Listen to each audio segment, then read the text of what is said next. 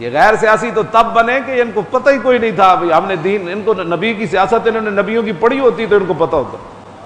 हाँ मैं आपको सच्ची बात बता रहा हूँ। इन्होंने सिद्दीकी सीरत पढ़ी होती, खुद हजूर की सीरत नहीं पढ़ी। हाँ जी, कि रसूलुल्लाह पैदल चल के बदर में कैसे गए? हाँ मैं, मुझे तो बैठे बैठे रोना आ जाता है, जब मैं सोचता हूँ कि हजूर ऐसे पैदल चल के जा रहे होंगे, उसामा बिन जैद ऊपर सवार होंगे। फिर रसूलुल्लाह खुद गहनतियाँ मार रहे हैं खंदक खोदते हुए। हजूर खुद गहनती, पत्थर साहबा से नहीं टूटा। हजूर ने खुद गहनती उठाई और वो पत्थर किसी साहबी से भी नहीं टूटा। हजूर ने तीन जरबों से उस पत्थर को तोड़ दिया। इन्होंने चूँकि पत्थर तोड़ने नहीं थे, सिर्फ़ हाथ चुमवाने थे, इन मौलवियों और पीरों ने। हाथ चुमवाना केड़ा? ना हेंग लगे, ना फटकड़ी।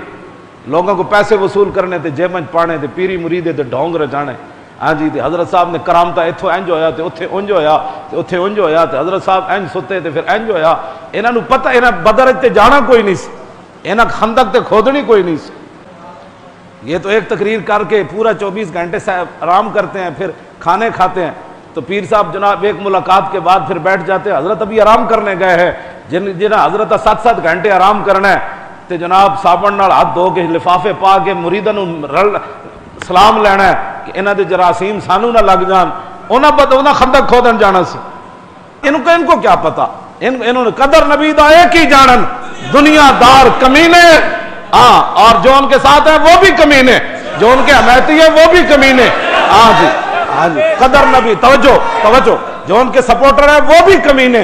जो उनके बारे में नरम गोशे रखते हैं, वो भी कमीने जिन्होंने निसाब से कुरान निकाला, वो भी कमीने जिन्होंने हदीस निकाली, वो भी कमीने जिन्होंने खुलफा राशिदीन की सीरतें निकाली, वो भी कमीने जिन्होंने सलातीन इस्लाम की सीरतें निकाली, वो भी कमीने जिन्होंने बुजुर्गा ने दीन के तस्करे और किसे निकाले, वो भी कमीने और उनके हामी भी कमीने कदर नबीदा, एक ही जानन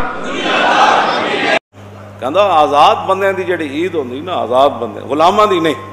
ਹਾਂ ਗੁਲਾਮ ਨਹੀਂ ਗੁਲਾਮ ਜਿੱਧਰ ਵੀ ਹੋਵੇ ਉਹ ਗੁਲਾਮ ਹੀ ਹੁੰਦਾ ਬਾਲ ਕਹਿੰਦਾ ਆਜ਼ ਗੁਲਾਮ ਹੈ ਲਜ਼ਤ ਇਮਾਮ ਅਜੋਏ ਦਰਜ ਬਾਸ਼ਦ ਹਾਫਿਜ਼ ਕੁਰਾਨ ਅਜੋਏ ਇਕਬਾਲ ਕਹਿੰਦਾ ਕਿਆਮਤ ਤੱਕ ਤੈਨੂੰ ਕਿਸੇ ਗੁਲਾਮ ਬੰਦੇ ਕੋਲ ਈਮਾਨ ਦੀ ਲਜ਼ਤ ਕਦੀ ਮਹਿਸੂਸ ਨਹੀਂ ਹੋਈ ਆਜ਼ ਗੁਲਾਮ ਹੈ ਲਜ਼ਤ ਇਮਾਮ ਮਜੋਏ ਮੈਂ ਕਹਾ ਇਕਬਾਲ ਜੀ ਹਾਫਿਜ਼ ਕੁਰਾਨ ਹੋਵੇ ਤੇ ਮੌਲਵੀ ਹੋਵੇ ਤੇ ਪੀਰ ਹੋਵੇ ਤੇ ਫਿਰ ਕਹਿੰਦਾ ਗਰ ਚ ਬਾਸ਼ਦ ਹਾਫਿਜ਼ ਕੁਰਾਨ ਮਜੋਏ ਕਹਿੰਦਾ ਹਾਫਿਜ਼ ਕੁਰਾਨ ਵੀ ਹੋਵੇ ਤੇ ਮੌਲਵੀ ਤੇ ਪੀਰ ਵੀ ਹੋਵੇ तकारा का गुलाम बन जाए तो इकबाल कहता वो को भी तेन कभी ईमान की लज्जत महसूस नहीं है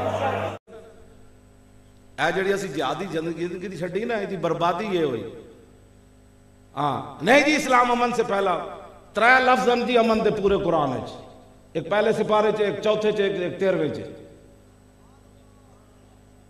साढ़े पाँच सौ ऐत जिहाद किताल दियाँ अमन दे सिर्फ़ लफ्ज भी बलद आमे ना है पत्नी मौलवी पीर कितों अल्फाज कटे इस्लाम अमन का दर्श देता है। मैं क्या इस्लाम अमन का दर्श नहीं देता, इस्लाम साथ गैरत का भी दर्श